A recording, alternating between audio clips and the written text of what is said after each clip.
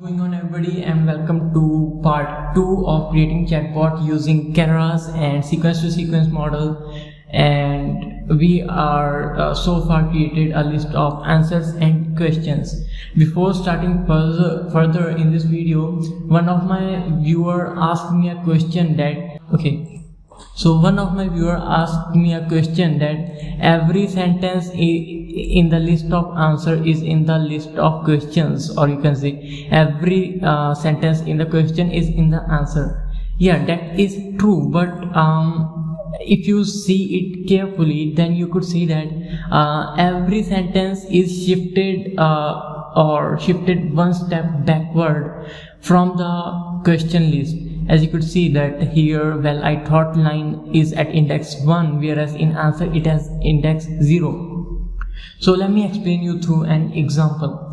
So suppose there are two person um, talking with each other. Suppose first person said hey and then second person replied hi how are you? Then first person replied fine how about you? And then second person i'm good. All right now if i want to train my chatbot on this data set now uh, for this as a question this will be the answer right?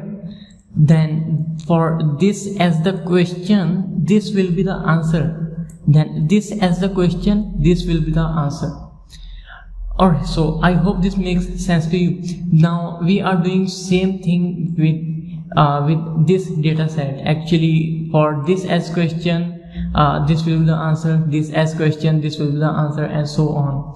Actually it it doesn't matter like um, same sentences are in question and answer. We just focus on uh, question and answer at particular index. They should not match with each other alright so I think this would be uh, enough explanation for that. Alright so in this video we are going to more pre-process our um, our list of questions and list of answers. And first of all let us uh, first pre-process uh, fixed length of questions.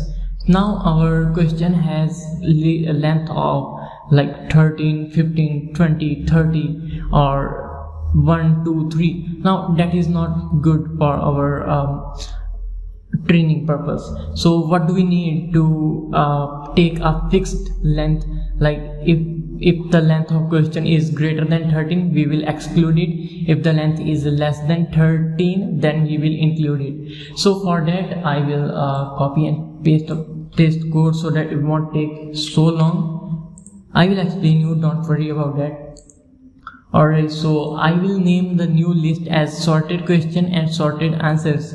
Now what I am doing, I am iterating in the list of questions or you can say I am uh, iterating uh, up to the length of questions so that I may access the index of that particular uh, particular in uh, value of that question list. Alright now if we are checking if the length of the question at that particular index is less than 13 then we will append it to the question and append answer. Make sure here it says answer. We will append answer of that particular index and question of that particular index to their respective sorted answer and sorted question. Alright now let us see running it and how it looks like. Awesome. Now uh, here are our sorted answers and here are our sorted questions. Now you could see that uh, first of all there will be length of 1 then there will be length of 2 then length of 3 length of 4 and so on. It is like that. Okay.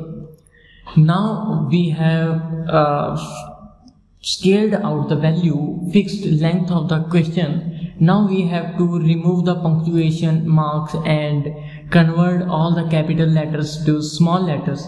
Now for that I will again copy a function and paste it over here. Now for this purpose we need to import a library or module called re now we have to import re then RE stands for uh, regular expression. We apply regular expressions to our uh, strings. Then we have our uh, cleaned text.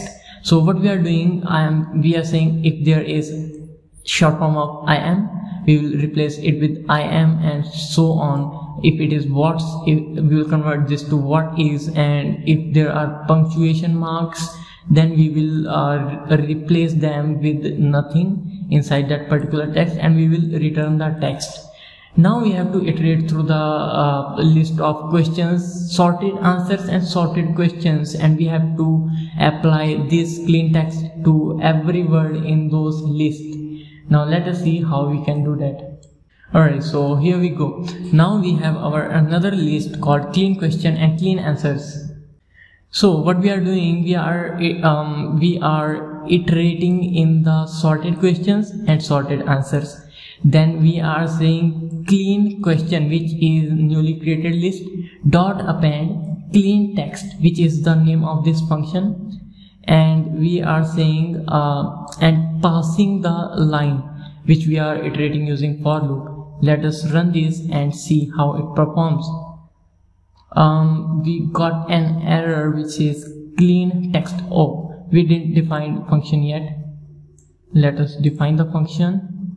Now let us run these lines. Alright so now we have our clean questions and clean answers. Let's have a look on it.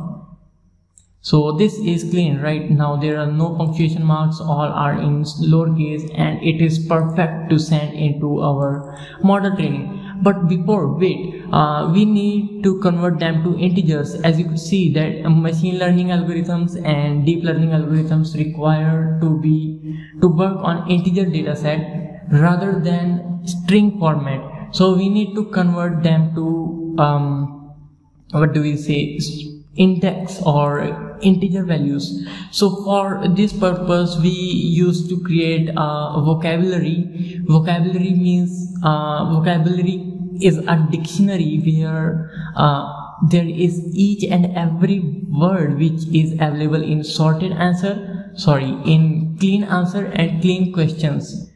Alright so vocabulary contains every word available in this clean answer and clean question list and a, a unique value assigned to that particular word alright so but before we need to do one more thing uh, let me just first copy the code and paste it.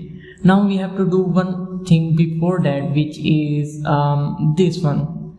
Alright so alright wait. In clean answers you could see that we have a variable length of question answers whereas our questions have fixed length maximum up to 13 whereas it's not clear in answer. So we have to do that step. Now what we are going to do is to uh, cut out first 11 um, first 11 words from the clean answer list.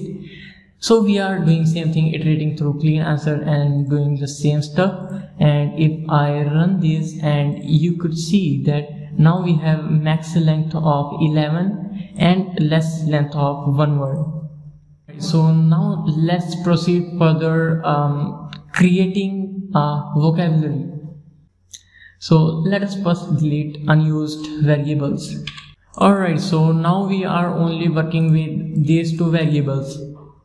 Before making the vocabulary we first split out our or first take only fixed length of um, answers and questions. So we can do that by using um, simple slicing like this. Now we would have only 30,000 values of answers and 30,000 of questions. Now we will proceed further uh, and creating a dictionary or vocabulary. But before um, there would be some words which would have um, which would have repeated just a single time or twice or three times. Some words will be which are most common and some would be names which would be used uh, only some amount of times. So we need to um, somehow take out those words as we need faster computation in lower memory space. So we first we will be creating a dictionary of key as a word word as a key and value will be the count of that word. So we could do that by using this trick right here. So we are creating word to count dictionary and we are iterating in clean questions and clean answers. And in that clean question we are splitting it splitting that uh, particular particular index value into words and then we are checking if the word is not in this dictionary we will add that word to this dictionary and we will specify the value as 1 whereas if that word is already available we will increment the count. And we are doing same as clean answers and we are appending to same dictionary. Let us run this and see how does that looks like?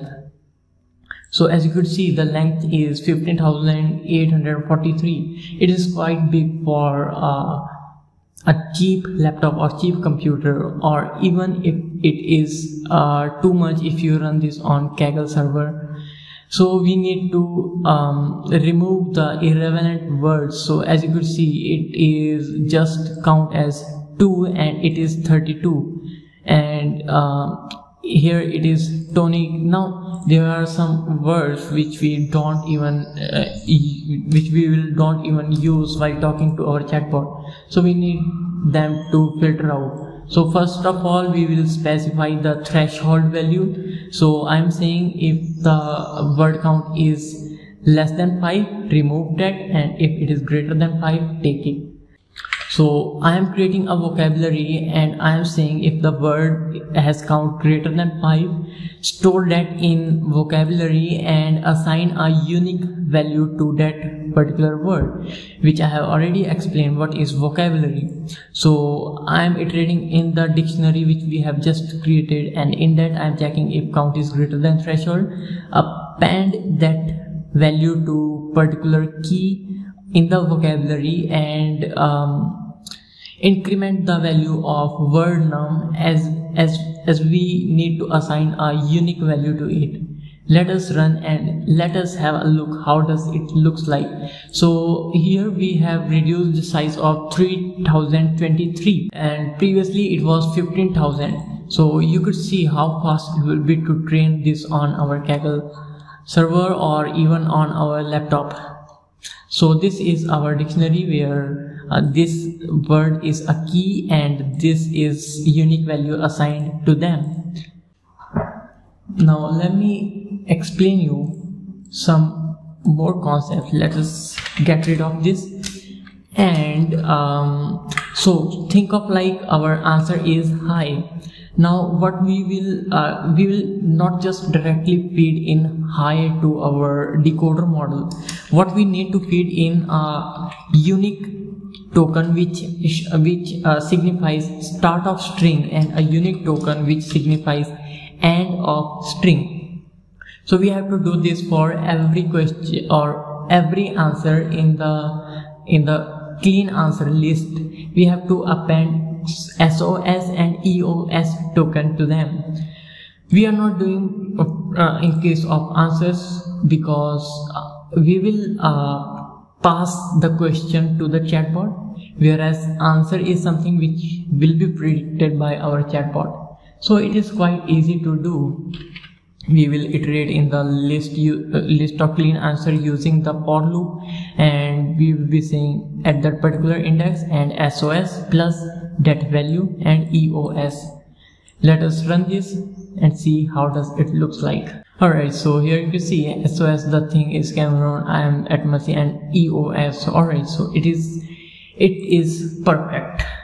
Alright now we have to uh, append these tokens to our vocabulary because these are also a string and as I have explained deep learning do not expect string as input. So that is also quite easy to do actually. We will have tokens EOS and SOS and what does it pad mean? Uh, I will explain it later but for now pad means um, if the length of sentence is 1 we will add padded words to it to make it fixed length. And we will do this for every sentence in the list of questions and answers. And we will have fixed length of questions and answers. And out means if that word is not in our vocabulary then we will um, append the out token to that. So let us run it and append these tokens to our vocabulary alright so now we have appended words or tokens to our vocabulary. Now we have to do one last thing. Our padding uh, usually signified by zero in the um, in the integer form when we pass it to decoder.